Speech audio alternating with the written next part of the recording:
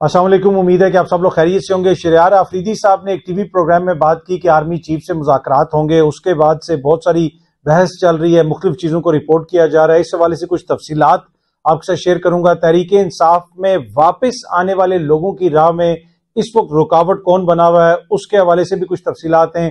کچھ مزید خبریں، کوشش ہوگی کہ وہ بھی آج کے اس ولاگ میں آپ سے شیئر کی جائیں۔ لیکن سب سے پہلی چیز جو میں آپ سے شیئر کرنا چاہتا ہوں، وہ شریار آفریدی صاحب نے ایک بیان دیا، یہ سامنے آپ دیکھ سکتے ہیں، جیو نیوز بھی اس کو رپورٹ کر رہا ہے۔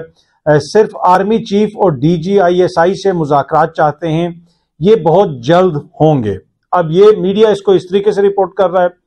شریار افریدی صاحب نے بھی اس کے اوپر ایک ٹویٹ کی ہے۔ اور اس کے جو، یہ جو بیان ان کا سامنے آیا، اس کے بعد سے بہت سارے دانشور جو ہیں، وہ مسلسل شریار افریدی صاحب کے اوپر تنقید کر رہے ہیں۔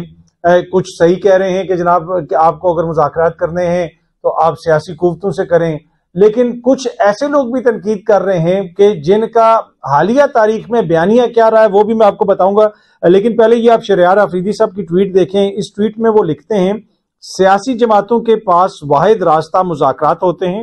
اور اسی لیے میں نے آج ٹاک شو میں سوال کے جواب میں کہا کہ ہم کھٹ پتلی حکومت کے بجائے آرمی چیف سے مذاکرات کریں گے، کیونکہ آج کل طاقت کا مرکز وہی ہیں۔ میرے اس بیان کو جیو نیوز نے توڑ مروڑ کر پیش کیا۔ ہم جلد آرمی چیف سے مذاکرات کریں گے۔ اس دعوے میں کوئی صداقت نہیں ہے۔ انہوں نے کہا کہ ہم نے یہ نہیں کہا کہ جی ہم جلد آرمی چیف سے یا D G I S I سے مذاکرات کریں گے۔ صرف ہم میں نے یہ کہا کہ کھٹ پتلی حکومت ہے۔ ان سے مذاکرات نہیں ہوں گے۔ جن کے ہاتھ میں پاور ہے، جو ان کو لے کے آئے ہیں، ان سے مذاکرات ہوں گے۔ اچھا اب یہ پاکستان تحریک انصاف کا موقف ہے، اس سے ہو سکتا ہے آپ اتفاق کریں، ہو سکتا ہے کہ میں اتفاق نہ کروں، ہو سکتا ہے میں اتفاق کروں، آپ اتفاق نہ کریں۔ تو یہ ان کی ایک رائے ہے، ان کا یہ موقف ہے کہ یہ جو موجودہ حکومت ہے، اس کو اسٹیبلشمنٹ جتوا کے الیکشن جتوا کے لے کے آئی ہے ان کی اپنی کوئی حیثیت نہیں ہے۔ یہ تو وزیر داخلہ بھی اپنا نہیں لگا سکتے، یہ تو سینیٹرز بھی اپنی مرضی کے نہیں بنا سکتے۔ ان کو جو کہا جاتا ہے، یہ وہ کرتے ہیں، یہ کھٹ پتلی ہیں۔ تو لہٰذا ان سے مذاکرات کرنے کا کیا فائدہ؟ اگر ہمیں صاف اور شفاف الیکشن چاہیے، تو پھر جو اس میں اثر انداز ہو سکتا ہے، جو ادارے اس میں کردار ادا کر سکتے ہیں، تو کیوں نہ براہ راست ان سے بات کی جائے، ان سے تو بات کرنے کا فائدہ نہیں، یہ تو بینیفیشری ہیں۔ انہوں نے تو ہماری مخصوص نشستیں لی ہیں، انہوں نے تو ہمارا مینڈیٹ چوری کیا ہوا ہے۔ اب اس کے اوپر کچھ لوگ تنقید کر رہے ہیں، لیکن اگر آپ لاجیکلی اس کو دیکھیں اور پاکستان تحریک انصاف کے بیانیے کو دیکھیں، ان کا تو بیانیہ یہی ہے کہ جناب اداروں کی مدد سے یہ لوگ جیت کے آئیں اور ادارے جو ہیں وہ سارا الیکشن مینج کر رہے ہیں۔ تو پھر مذاکرات تو اسی سے ہوں گے کہ جناب آپ جو ہے وہ یہ مینج نہ کریں اور صاف اور شفاف الیکشنز ہونے دیں۔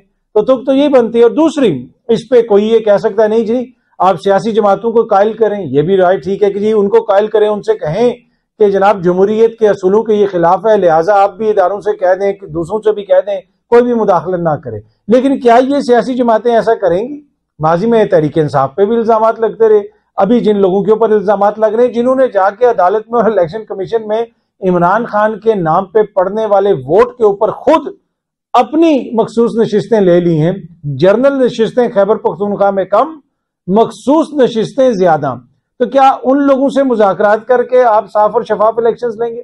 پھر اب اس میں ایک طبقہ وہ ہے دانشوروں کا، جو کہہ رہا ہے، یہ دیکھ رہے ہیں جی پی ٹی آئی والے ہمیشہ وہ، انہوں نے تو یہ ہے، وہ ہے، یہ اسٹیبلشمنٹ کے بلب ہوتے پہ آنا چاہتے ہیں۔ یہ وہ لوگ ہیں جو ٹی وی کے اوپر بیٹھ کے، جو ویلاگس کے اندر ہر جگہ پہ بار بار یہ بات کرتے ہیں اپنے بیانات میں کہ جی عمران خان چاہے سارے مقدمات میں سے بری ہو جائے، جو مرضی ہو جائے، اس کو رہائی نہیں ملنی۔ ان سے پوچھو کیوں رہائی نہیں ملنی؟ بس جب تک کہیں اور سے فیصلہ نہیں ہوگا۔ اچھا پھر یہ آپ کو کیا بتاتے ہیں؟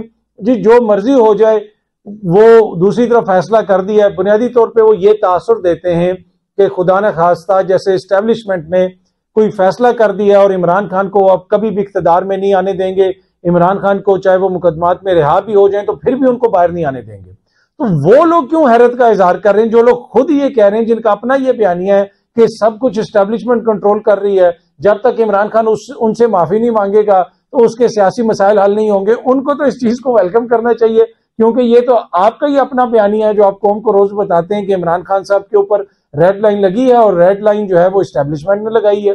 اگر ایسی بات نہیں ہے تو پھر آپ کیوں روز ہر جگہ پہ یہ کہتے ہیں کہ جناب ان کی سیاست میں واپسی ممکن نہیں ہے، ان کی جماعت کے لیے بڑی مشکلات ہیں، جب تک نو مئی والے معاملات حل نہیں ہوں گے۔ تو یہ تو ایگزیکٹلی آپ کے بیانیے کے مطابق شریار افریدی صاحب کہہ رہے ہیں کہ جناب ان سے بات ہوگی جن کے ہاتھ میں اختیارات ہیں، جن کے حوالے سے یہ دانشور بتاتے ہیں کہ جب تک ان سے پی ٹی آئی معافی نہیں مانگے گی تو معاملات حل نہیں ہوں گے۔ باقی یہ ایک بحث ہے کہ جی سیاسی جماعتوں کے ساتھ مذاکرات ہونے چاہیے یا نہیں ہونے چاہیے اس وقت جو بینیفیشری ہیں سارے نظام کے جنہوں نے سب چیز سے فائدہ اٹھایا ہے، کیا وہ مذاکرات کے نتیجے میں اپنی کوئی پاور چھوڑیں گے؟ وہ اپنی حکومت چھوڑیں گے، اپنی ریزرو سیٹیں چھوڑیں گے، صاف اور شفاف الیکشن کروائیں گے؟ تو یہ ایک بڑا کوشچن ہے۔ تو جو شریار آفریدی صاحب نے بات کی ہے، وہ بنیادی طور پہ ان دانشوروں کے، ان سیاستدانوں کے، ان حکومت کے لوگوں کے بیانیے کو تقویت دیتا ہے اور ان کے بیانیے کے مطابق ہے جو یہ کہتے ہیں کہ جناب جب تک معاملات کہیں اور حل نہیں ہوں گے، پی ٹی آئی کا کچھ نہیں ہو سکتا۔ تو شریار افریدی صاحب نے ذرا کھل کے بات کر دی ہے کہ جناب، اور پھر یہ تحریک انصاف کا موقف بھی یہی ہے کہ سب کچھ جناب ادارے مینج کر رہے ہیں۔ تو اگر ہم نے صاف اور شفاف الیکشن لینے تو پھر مائٹز ویل اداروں سے بات کی جائے۔ اب ہو سکتا ہے میں اس سے اتفاق نہ کروں، آپ اتفاق نہ کریں، آپ ہو سکتا ہے کہیں کہ جناب اس میں اداروں کا کوئی کردار نہیں ہے۔ میں بھی ہو سکتا ہے یہ کہوں کہ جناب اداروں کا تو کوئی کردار نہیں ہے، سیاسی جماعتوں کا کردار ہے، پر انفارچونیٹلی ہم ایک ایسی پوزیشن میں آئے ہوئے جہاں پہ اس طرح کے الزامات لگ رہے ہیں، اس طرح کے بیانیے ہیں اور مختلف جماعتوں کے سامنے کی جانب سے ہیں۔ ایون کے حکمراں اتحاد میں شامل سینئر لوگ ٹی وی پہ بیٹھ کے کہہ رہے ہیں اور وہ اس قسم کے الزامات لگا رہے ہیں کہ الیکشن مینج کیے گئے ہیں۔ تو پھر اپوزیشن سے بندہ کیا کہے؟ تو یہ باتیں تو ہو رہی ہیں۔ اور اسی بیانیے کے مطابق، حکومتی بیانیے کے مطابق ہی شریار افریدی صاحب کا یہ جو بیان ہے، آپ اس کو، اس کے تناظر میں دیکھیں۔ اچھا جی سوشل میڈیا پہ کچھ خبریں گردش کر رہی ہیں کہ فواد چودھری صاحب کی واپسی ہو سکتی ہے جماعت کے اندر، ان کی خان صاحب سے ملاقات ہوگی۔ بہت سارے لوگ انتظار کر رہے ہیں، لیڈران جو چھوڑ کے گئے تھے کہ خان صاحب سے ان کی ملاقات ہوگی۔ فواد چودھری کا شمار ان لوگوں میں ہوتا ہے جنہوں نے جیل بھی کاٹی، کافی عرصہ وہ جیل رہے۔ جنہوں نے وہ عمران خان کے خلاف گواہی نہیں دی، ان کو کہا گیا کہ جناب آپ عمران خان کے خلاف وعدہ معاف گواہ بن جائیں، وہ وہ نہیں بنے۔ پھر جب جس وقت انہوں نے چھوڑا، جماعت کو چھوڑا، اس وقت بھی، اس وقت کی جو طاقتور شخصیات ہیں، ان کا انہوں نے یہ بتایا، کسی کو اب وہ تو نہیں ہے اسٹیبلشمنٹ اس وقت کی، لیکن اس وقت بھی یہ اس طرح کی چیزیں سامنے آئیں۔ کہ فواد چودھری کے اوپر غالباً کوئی تشدد وغیرہ ہوا تھا۔ اب اللہ عالم یہ تو فواد چودھری صاحب خود ہی بتا سکتے ہیں۔ پر اینی وے ان کی واپسی کے اوپر جب خبریں آئیں تو جماعت کے اندر سے ہی ریزسٹنس آ رہا ہے۔ بہت سارے لوگوں کی جو واپسی کی بات ہو رہی ہے، جماعت کے اندر سے لوگ اس کی ایک طرح سے مخالفت کر رہے ہیں۔ اب اس میں دو ایشو ہیں۔ ایک تو ایشو پرنسپل کا ایشو ہے کہ جی مشکل وقت میں کچھ لوگ چھوڑ کے چلے گئے تو وہ اب کیوں واپس آ رہے ہیں؟ جو لوگ مشکلیں برداشت کر رہے ہیں، ان کو ان کو سامنے آنا چاہیے۔ شاندانہ گلزار صاحبہ نے بھی یہ ٹویٹ کی ہے کہ جناب یہ فواد اور اس کی بیوی کے ساتھ بھائی بہن کا رشتہ ہے، لیکن عمر چیمہ ڈاکٹر یاسمین راشد کی قربانیوں کی بےزتی نامنظور، پی ٹی آئی کے جیل میں بیٹھے کارکن کی عزت کو آگ مت لگائیں، ہمارا لیڈر لنڈن والے بگوڑے کی طرح پارٹی نہیں چلاتا۔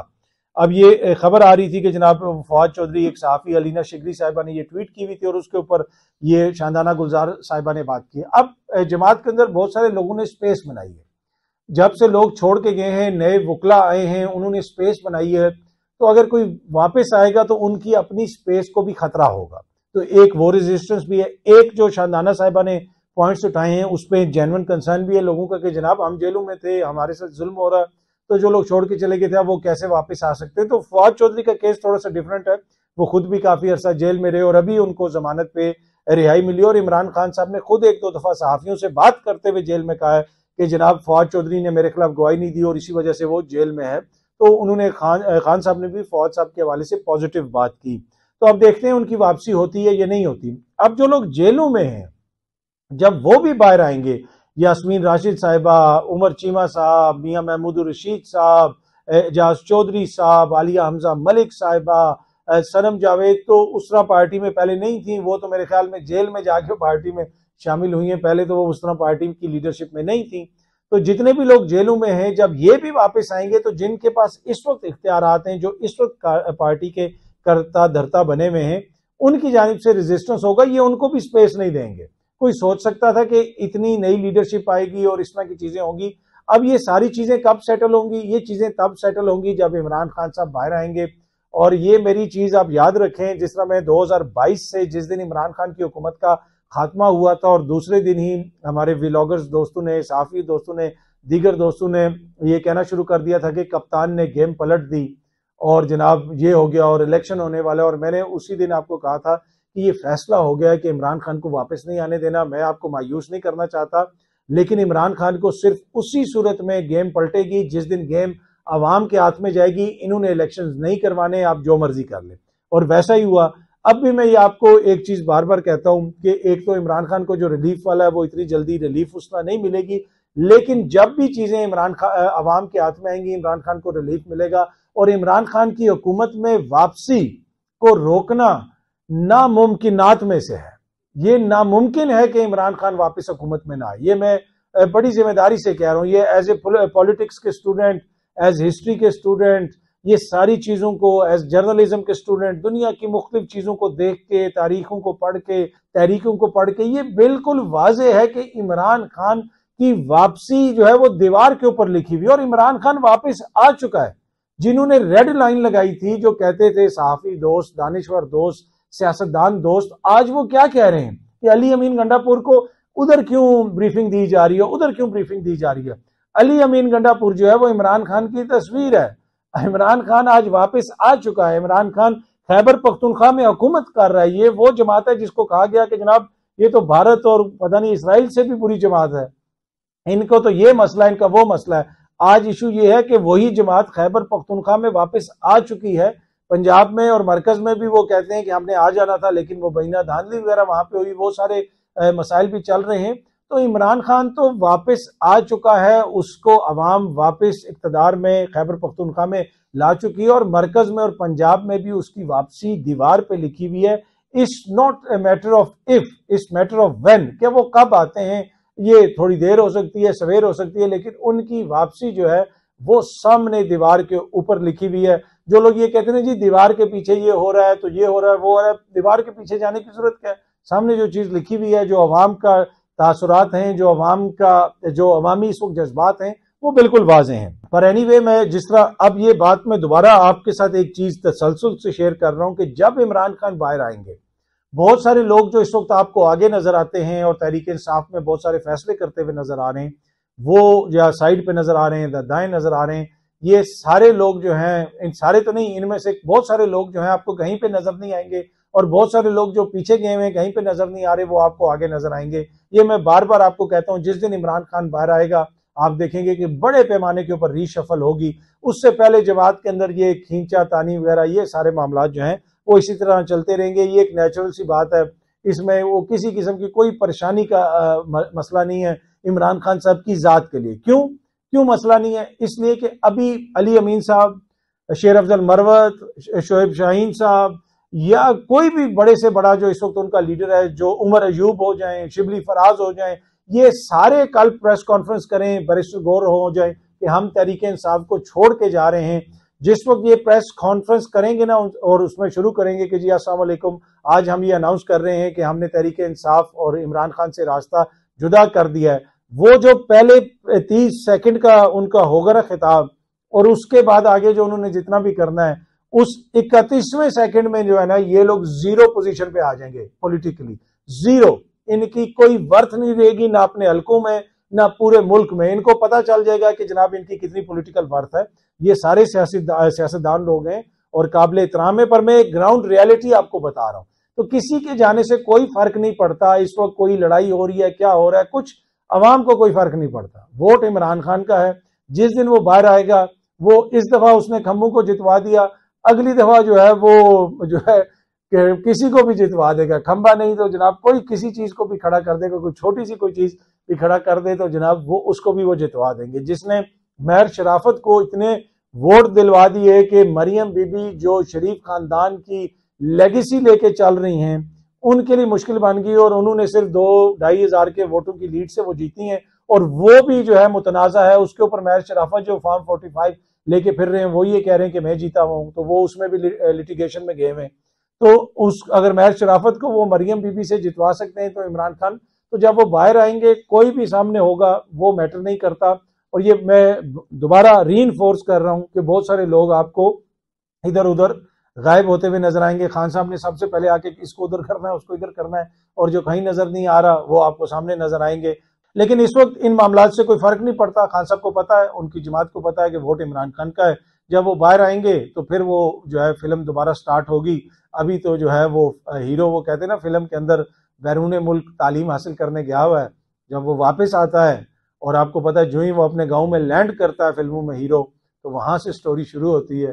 تو جس دن ہیرو جو ہے اس فلم کا اڈیالہ جیل سے باہر آئے گا تو وہاں سے سٹوری شروع ہوگی اور بہت ساری چیزیں جو ہیں وہاں سے پھر وہ ٹرن لیں گی۔ اچھا جی ہم نے سوشل میڈیا پہ دیکھا کہ جسٹس بابر ستار جو ہیں، ان کے خلاف ایک باقاعدہ مہم نظر آئی۔ بہت سارا مواد ان کے حوالے سے، ان کی فیملی کے حوالے سے سوشل میڈیا پہ شیئر کیا جا رہا تھا۔ جسٹس بابر ستار کا شمار پاکستان کے چند ٹاپ کے ان لائرز میں ہوتا ہے جو انسانی حقوق کے حوالے سے اور دیگر جو معاملات ہیں ان کے حوالے سے جو ان کے فیصلے ہوتے ہیں، وہ بالکل واضح ہوتے ہیں اور وہ آپ کو یاد ہوگا کہ شریار آفریدی اور شاندانہ گلزار صاحبہ کے جو ایم پی او کے تحت گرفتاریاں ہوئی تھیں، اس میں بھی جسٹس بابر ستار صاحب نے اسلام آباد کے ڈی سی کو، دیگر افسران کو توہین عدالت کے کیس میں سزائیں سنائی تھیں۔ پھر وہ جو آڈیو کا کیس چل رہا تھا نجم ثاقب جو ثاقب نثار صاحب کی آڈیو اور اس کے علاوہ مبینہ طور پہ بشرا بی بی کی کوئی آڈیو تھی، وہ جو لیکس ہوئی تھیں جس پہ کمیشن بھی بنا دیا تھا حکومت نے اور جسٹس قاضی فائز عیسیٰ صاحب نے اس کی سربراہی بھی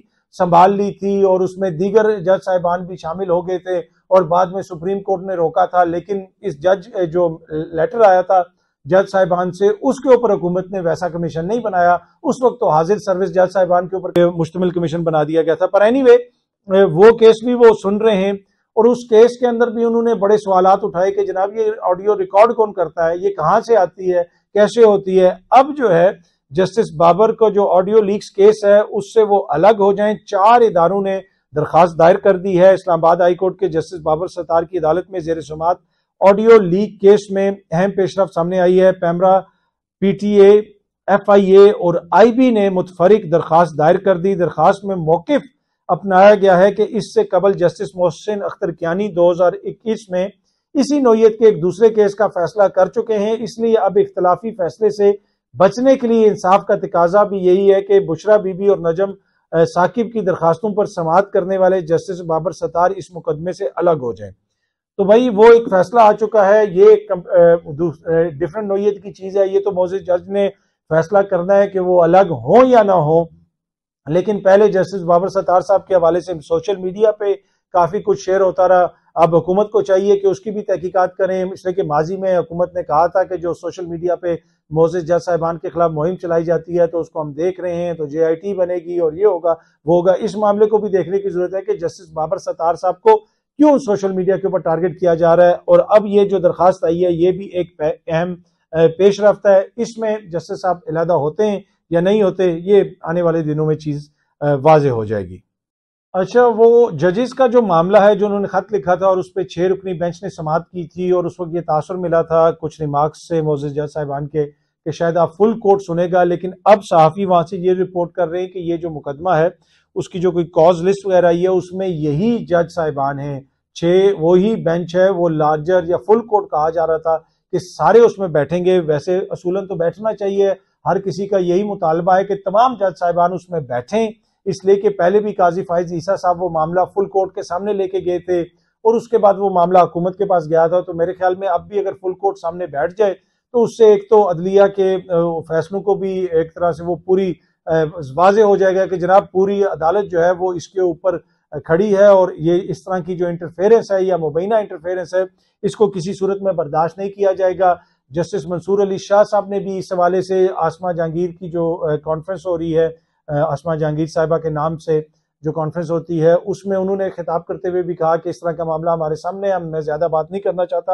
لیکن رول آف لا میں ہی ہر ادارے کی طاقت ہے، عدلیہ کمزور ہوگی، قانون کمزور ہوگا، تو سب کمزور ہوں گے۔ یہ وہی چیز ہے جو میں بھی بار بار کہتا ہوں کہ آئین اور قانون کے اندر ہی سب کی طاقت ہے۔ اگر آپ ماورائے آئین کوئی حرکت کر کے اپنی طاقت منوانا چاہتے ہیں، تو پھر اس باول نگر کی ایک مثال ہمارے سامنے ہے، جو زیادہ طاقتور ہوگا وہ پینٹی لگائے گا۔ اگر پولیس ہو یا کوئی اور محکمہ ہو، عدلیہ ہو پارلیمنٹ ہو پارلیمنٹیرینز ہوں، انتظامیہ، مقننہ، جتنے بھی ہیں، سارے جو ہیں، ان سب کی طاقت آئین اور قانون اور رول آف لا میں ہے۔ جب تک اس کے اوپر عمل درآمد ہوگا تو سب کی طاقت ہوگی۔ اور منصور علی شاہ صاحب نے کہا کہ کسی صورت میں جناب انٹرفیرنس برداشت نہیں کی جائے گی، زیادہ باتیں انہوں نے نہیں کی کیونکہ معاملہ یہ سب جوڈس ہے۔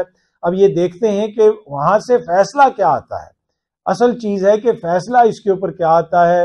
ریمارکس وغیرہ تو بہت آئے، اس ہیرنگ کے دوران بھی آئے۔ اب جب فیصلہ آئے گا، چیزیں آگے بڑھیں گی تو پھر صورتحال کلیئر ہوگی۔ اچھا جی پی ٹی آئی کے احتجاج کے حوالے سے علی امین گنڈا پور صاحب نے کہا ہے کہ یہ خان صاحب کا اختیار ہے، جس دن وہ کہیں گے ہم لانگ مارچ لے کے اسلام آباد آ جائیں گے۔ ان کے بہت سارے جو دیگر لوگ ہیں، وہ بھی یہی کہہ رہے ہیں کہ ابھی ہم نے اس طرح بڑا احتجاج، جسے خیبر پختونخوا سے لے کے اسلام آباد آنا، اس کا کوئی فیصلہ نہیں ہوا۔ اس کا فیصلہ بھی خان صاحب ہی کریں گے۔ ان سے ملاقاتیں ہوتی رہتی ہیں، لیکن خان صاحب نے یہ واضح طور پہ اپنی لیڈرشپ کو ہدایت دی ہے کہ تمام صوبوں کے اندر آپ جو ہے وہ پولیٹیکل ایکٹیویٹی جاری رکھیں، جلسے کریں، جلوس کریں ریلیاں نکالیں، عوام کو باہر نکالیں، عوام کو متحرک کریں، یہ تو ان کی واضح ہدایت ہے، لیکن وہ بڑا لانگ مارچ یا دھرنا وغیرہ اس حوالے سے ابھی کوئی ہدایت نہیں دی گئی ہے۔ ان کے جو لوگ جیلوں میں ہیں، ان کا معاملہ بھی خان صاحب کی طرف سے کہا گیا ہے کہ بار بار اٹھایا جائے، جو ان کے کارکن جیلوں میں، خواتین جیلوں میں ہیں، ان کی طرف سے جو ہے چیزیں جو ہیں وہ سامنے آنی چاہیے، خط بھی سامنے آنے چاہیے، ان کا ذکر بھی ہونا چاہیے۔ اب جس طرح آپ کو پتا ہے کہ جاسمین راشد صاحبہ، دیگر بہت ساری خواتین، عمر چیمہ میں نے پہلے بھی نام لیا جاز چودھری، میاں محمود الرشید، بہت سارے دیگر بھی لوگ ہیں جو جیلوں میں ہیں۔ عالیہ حمزہ ملک صاحبہ کے حوالے سے خبر آ رہی ہے کہ ان کی صحت ٹھیک نہیں ہے۔ غالباً ان کو پہلے بھی کوئی بخار وغیرہ تھا یا ملیریا یا ڈینگی کوئی اس قسم کی خبریں آ رہی تھی، اب ہم کنفرم تو نہیں کر سکتے لیکن ان کے خاندانی ذرائع اور پاکستان تحریک انصاف کے ذرائع یہ بتا رہے ہیں کہ جیل کے اندر عالیہ حمزہ ملک صاحبہ کی صحت ٹھیک نہیں ہے۔ حال ہی میں ان کو لاہور سے سرگودا شفٹ کیا گیا ہے۔ ان کا مقدمہ سنم جاوید صاحبہ کے ساتھ وہاں پہ شفٹ کیا گیا ہے۔ تو یہ جناب، جو بڑا احتجاج ہونا ہے، اس کی فائنل کال تو عمران خان صاحب ہی دیں گے۔ مجھے یہ لگتا ہے کہ یہ بڑا احتجاج جب خان صاحب باہر ہوں گے تو شاید اس وقت ہو، اس وقت مجھے نہیں لگتا کہ اس طرح کا بڑا لانگ مارچ وغیرہ کیا جائے گا۔ لیکن اگر ایک مومنٹم بن گیا، ایک اس طرح کی صورتحال پیدا ہو گئی، تو پھر جو باہر لیڈرشپ ہے، وہ اتنی مضبوط نہیں ہے کہ وہ عوام کو لیڈ کر سکے گی۔ جس طرح ہم نے دیکھا کہ بہت سارے معاملات میں سوشل میڈیا اور کارکن جو ہیں وہ تحریک انصاف کو لیڈ کرتے ہوئے نظر آ رہے ہیں۔ بہت سارے ٹکٹوں کے معاملے، دیگر چیزوں کے اوپر عوام نے چیزیں اپنے ہاتھ میں لیں۔ باجوڑ کا جو الیکشن ہوا، اس وہ بھی ایک مثال ہمارے سامنے ہے۔ تو اگر یہ احتجاج اسی طرح چلتا رہا اور اس کی اجازت نہ ملی اور لیڈرشپ کو اس طرح باہر نہ نکلنے دیا گیا، تو پھر یہ ہوگا کہ وہ جو احتجاج کی لیڈرشپ ہے، وہ بھی ادھر ادھر ہو جائے گی۔ عوام چیزیں اپنے ہاتھ میں لے لے گی اور پھر وہ آرگینک خود ہی احتجاج کریں گے۔ جس طریقے سے کریں گے، وہ پھر ان کی مرضی ہوگی کہ انہوں نے کس طریقے سے کرنا ہے۔ لیکن فی الحال تو جماعت نے یہ ہدایت دی ہے کہ جناب آپ ملک بھر کے اندر احتجاج وغیرہ کریں۔ اچھا جی بھارت میں بھی الیکشنز ہو رہے ہیں، اور مودی صاحب وہاں پہ تقاریر بھی کر رہے ہیں۔ اتنی بڑی جمہوریت کے وہ وزیر اعظم ہیں، لیکن سن کے افسوس ہوتا ہے کہ ابھی بھی نفرت کے اوپر جو ہے وہاں پہ سیاست ہو رہی ہے۔ ابھی بھی تقسیم کے اوپر وہاں پہ سیاست ہو رہی ہے۔ نفرت کے اوپر ووٹ مانگا جا رہا ہے، اتنی بڑی آبادی ہے، وہاں پہ بڑی تعداد میں دیگر جو ہے مذاہب کے لوگ بھی ہیں، لیکن لگتا اس طرح ہے کہ جناب وہ بالکل جو ہے وہ مذہب کے نام کے اوپر تقسیم پیدا کر کے مودی صاحب اپنا ووٹ لینا چاہتے ہیں، اس لیے کہ اس کی کچھ وجوہات ہیں کہ وہاں پہ بھی بہت سارے مسائل ان کی اکانومی کو بھی ہیں، ان کی حکومت کو بھی ہیں آل دو کہ وہ دعوے تو بڑے بڑے کرتے ہیں اور وہ ہمیشہ اپنے آپ کو چائنا کے ساتھ جوڑتے ہیں، اس چیز کے ساتھ جوڑتے ہیں، اس چیز کے ساتھ جوڑتے ہیں۔ لیکن وہاں پہ بھی، ابھی حالیہ جو رپورٹس بھی آئی ہیں رائٹرز نے بھی رپورٹ کیا، بے روزگاری کا مسئلہ بھی ہے، دیگر مسائل بھی ہیں، تقسیم ہے، بہت سارا جو جماعتیں ہیں، ان کے تحفظات ہیں سول سوسائٹی کے تحفظات ہیں، انسانی حقوق کے معاملات ہیں۔ اور اس سارے چکر کے اندر جو اگر آپ کو کوئی مین کردار نظر آتا ہے تو وہ مودی صاحب اور ان کی سیاست نظر آتی ہے۔ جو یہ کہتے ہیں نا کہ جناب مودی صاحب کو ڈیولپمنٹ کے اوپر ووٹ پڑا وہاں پہ۔ مودی کو کبھی بھی ڈیولپمنٹ کے اوپر ووٹ نہیں پڑا ہے۔ اگر آپ ان کی سیاست کو تھوڑا سا دیکھیں، بھارت کی سیاست کو میں بھارتی میڈیا پہ بہت زیادہ ریگولر تھا۔ آلموسٹ ہر شام کو ہر دوسرے چینل پہ، اور بڑی میری وہاں پہ ڈیبیٹس بھی ہوتی تھی اگر آپ میرے یوٹیوب چینل پہ ہی چلے جائیں، تین سال پرانی ویڈیوز جا کے دیکھیں تو آپ کو نظر آئے گا۔ میرے فیس بک پہ چلے جائیں تو آپ کو بہت سارے کلپس نظر آئیں گے کہ میں کتنا بھارتی میڈیا پہ جاتا تھا۔ اور میں نے کافی زیادہ ان کی سیاست کو سٹڈی کیا، دیکھا۔ تو جو یہ کہتے ہیں جی وہ گجرات ماڈل آ گیا اور گجرات ماڈل کے بعد مودی کو نہیں۔ اگر آپ بی جے پی کا رائز دیکھیں، جب پہلی ان کی حکومت آئی تھی غالباً اٹل بہاری واجپئی صاحب والی تھی وہ جو نائنٹیز میں ان کی جو پہلی حکومت آئی تھی، اس سے پہلے آپ بی جے پی بی جے پی کو دیکھیں۔ یہ پہلے جماعت ہوتی تھی جنا سنگھ بہت سارے جنا سنگھ کے لوگ تھے جو بی جے پی میں شامل ہوئے تھے۔ اور جنا سنگھ نے جو سیونٹی ایٹ میں یہ کب جو الیکشن ہوا تھا، اس میں چند سیٹیں جیتی تھی اس کے بعد بھی یہ چند سیٹیں ایٹیز میں جیتتے رہے۔ جب یہ بی جے پی بنی، اس میں لوگ آئے، ان کا رائز ہوا جب انہوں نے بابری مسجد توڑی۔ یہ ان کا رائز ہے۔ ان کا رائز کو اکنامک ماڈل پہ نہیں ہوا، نفرت کے ماڈل پہ ہوا۔ بابری مسجد کو انہوں نے توڑا، مسلمان مخالف ووٹ لیا مائنورٹی مخالف ووٹ لیا۔ ان کے بہت سارے ایسے لیڈران ہیں جو نہ صرف مسلمانوں بلکہ ایون کرسچنز کے اوپر حملوں میں بھی ملوث ہیں، جو ان کی جماعت کے اندر بھارت میں مختلف واقعات پیش آئے، بلکہ ایک تو آسٹریلین جو وہاں پہ فادر تھے، غالباً وہ آسٹریلین تھے یا کینیڈین تھے تھے وہ مغربی ہی سفید فارم تھے، ان کو ان کے بچوں سمیت ایک گاڑی میں جلا دیا گیا۔ اور اس میں بھی جو ایک شخص شامل تھا، وہ بھی بی جے پی کا بڑا ایکٹیو بندہ تھا۔ تو ان کی جو ٹوٹل سیاست ہے، وہ نفرت پہ مبنی ہے۔ کبھی پاکستان کے حوالے سے بات کرتے ہیں، کبھی مسلمانوں کے حوالے سے بات کرتے ہیں۔ تو ابھی بھی وہی نفرت اور تقسیم کے اوپر یہ اپنی سیاست کر رہے ہیں۔ کارکردگی نہیں یہ دکھا رہے اپنی کہ کارکردگی کیا ہے۔ کارکردگی کے حوالے سے بہت سارے تحفظات ہیں۔ پر اینی وے دیکھتے ہیں ان کو کیا ہوگا۔ مجھے یہ لگتا ہے کہ اس دفعہ مودی صاحب کو بھی تھوڑا سا سرپرائز ملے گا۔ انہوں نے کیجریوال صاحب کو پکڑا ہوا ہے اور سوچ یہی ہے کہ جی کیجریوال جیل کے اندر ہے تو اس کو ووٹ نہیں پڑے گا۔ لیکن میرے خیال میں اس دفعہ مودی کو پہلے کی نسبت اس اتنی میجورٹی ملنا اتنا آسان نہیں ہے۔ چھوٹا موٹا سرپرائز ان کو ملے گا۔ وہاں پہ جو ادھر کے جو انڈیپینڈنٹ پولیٹیکل اینالسٹ ہیں، وہ بھی اسی قسم کی بات کرتے ہیں، لیکن ریاست ان کی سب کچھ وہ ٹوٹل ایک پیج پہ ہے اور مودی صاحب جو ہے اس کا چہرہ ہے۔ دنیا بھر میں، کبھی پاکستان میں کہتے ہیں ان کے لوگ ہم نے ٹارگٹ کلنگ کروائی ہے، کبھی کسی اور ملک میں کرواتے ہیں، کبھی کسی اور ملک میں کرواتے ہیں۔ تو ایک باقاعدہ طور پہ جس طریقے سے یہ حکومت چلا رہے ہیں، یہ کیا جمہوری اصولوں کے مطابق ایسی حکومت چلتی ہے، یہ ایک بڑا امپورٹنٹ کوشچن ہے۔ پر اینی وے بھارت سے ایک اور سٹوری بھی آ رہی ہے۔ کہ پاکستانی ایک نوجوان بچی جو ہے، عائشہ غالباً انیس سال ان کی عمر ہے۔ ان کا ہارٹ ٹرانسپلانٹ وہاں پہ ہوا ہے۔ ان کی جو قومی نیوز ایجنسی ہے، اس نے بھی اس کی ویڈیو وغیرہ جاری کی ہے۔ ان کا میڈیا بھی چلا رہا ہے کہ دیکھیں جی پاکستان کے برے لوگ ہیں۔ اور ہم جو ہیں، ان کے ہارٹ ٹرانسپلانٹ کر رہے ہیں۔ اچھی بات ہے، کیا ہے، چنائی میں ہوا ہے۔ بڑی اچھی بات ہے۔ ہمیں بھی ان سے سیکھنے کی ضرورت ہے۔ ہماری بھی جو میڈیکل یہاں پہ انڈسٹری ہے، اس میں بہتری کی ضرورت ہے ہماری تو چھوٹی سی سرجری بھی کروانی ہو تو ہمارے حکمراں سوئٹزرلینڈ اور انگلینڈ چلے جاتے ہیں اور کہا جاتا ہے کہ جی ایئر ایمبولینس یوز کر رہے ہیں، وہ یوز کر رہے ہیں، لیکن ہم بہت ساری چیزوں میں بھی بہت پیچھے ہیں اور وہ تبھی بہتری آئے گی کہ جب ہمارے حکمرانوں کے علاج بھی پاکستان کے اندر ہی ہوں گے۔ لاسٹ ٹائم آپ نے کبھی سنا کہ بھارت کا کوئی وزیر اعظم جو ہے وہ کوئی سرجری کروانے باہر چلا گیا؟ ہم سنتے ہیں نائجیریا کا یا یوگینڈا کا یا صومالیہ کا، اس قسم کی باتیں سنتے ہیں، بھارت کا ہم اتنا نہیں سنتے۔ پر اینی وے اس بچی کا وہاں پہ ہارٹ ٹرانسپلانٹ ہوا ہے، اس کو بھی میڈیا میں اچھالا جا رہا ہے اور ایک وہ پولیٹیکل نیریٹو بنانے کے لیے استعمال کیا جا رہا ہے۔ جی کریں، ان کی، ان کا حق بنتا ہے اگر انہوں نے آپریشن کیا ہے تو وہ ضرور کریں۔ لیکن یہ ایک اچھی خبر ہے کہ جناب اس بچی کا ہارٹ ٹرانسپلانٹ ہو گیا اور ہم امید کرتے ہیں کہ یہ بچی جلد صحتیاب ہو جائے گی۔ اچھا اب بھارت کے حوالے سے ہمارے منسٹر جو ہیں، احسن اقبال صاحب انہوں نے بھی ایک بات کہی ہے، یہ سامنے جیو نیوز رپورٹ کر رہا ہے، پاکستان اپنی کرکٹ ٹیم بھارت بھیجنے کو تیار ہے، بھارت بھی ٹیم بھیجے۔ اب بھارت جو ہے، آئی پی ایل میں بھی پاکستانی لوگوں کو شامل نہیں کرتا، کرکٹرز کو شامل نہیں کرتا۔ یہاں پہ جو ہونا تھا، ایشیا کپ ہونا تھا، وہ بھی پاکستان میں نہیں ہو سکا، پتہ نہیں کدھر کدھر سری لنکا اور کدھر کدھر ہوا، کیونکہ بھارت یہاں پہ نہیں آتا۔ لیکن جب وہ ورلڈ کپ ہوا یا جو بھی پچھلے دنوں ایک بڑا ٹورنامنٹ ہوا تھا، کرکٹ کا میں یہ بات تھوڑی سی کلیئر کر دوں کہ مجھے کرکٹ میں بالکل بڑی کم دلچسپی ہے۔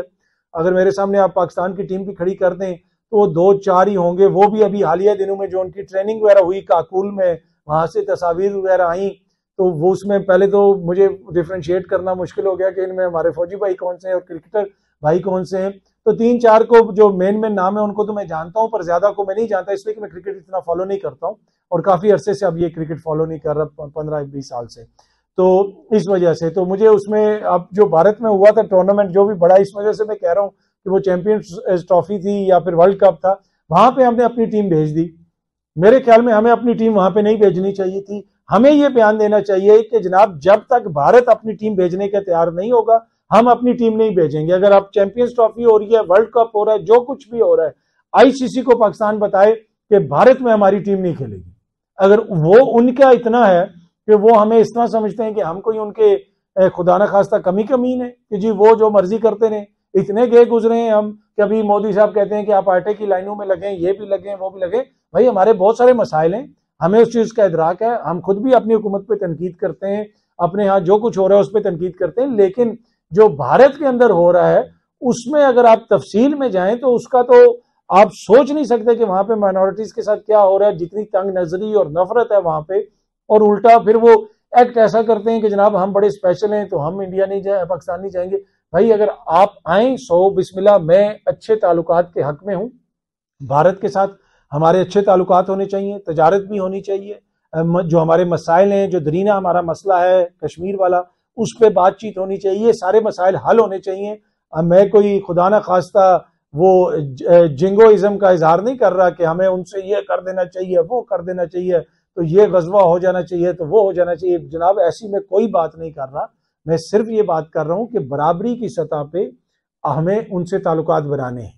اگر وہ ہماری عزت کریں گے تو ہم ان کی دگنی عزت کریں گے۔ لیکن اگر وہ اتنی تنگ نظری کا مظاہرہ کریں گے تو پھر ہمیں بھی اپنی عزت نفس کا خیال رکھنا چاہیے۔ ہمیں بھی اپنی ٹیم وہاں پہ نہیں بھیجنی چاہیے۔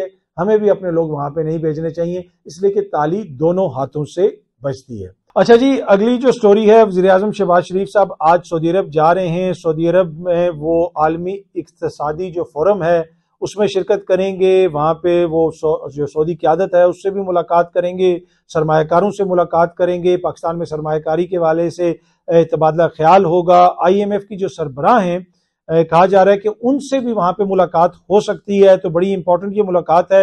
وزیر اعظم کی بل گیٹ سے بھی ملاقات کا امکان ہے۔ اور وزیر خارجہ جو ہیں ساکدار صاحب جو ہیں، وہ بھی ان کے ہمراہ ہوں گے۔ جو بل گیٹ سے بھی ملاقات کریں، یہ ساری چیزیں کریں۔ میرے خیال میں جو آئی ٹی اور ٹیکنالوجی سے ریلیٹڈ چیزیں ہیں، اس کے اوپر ہمیں توجہ دینے کی ضرورت ہے۔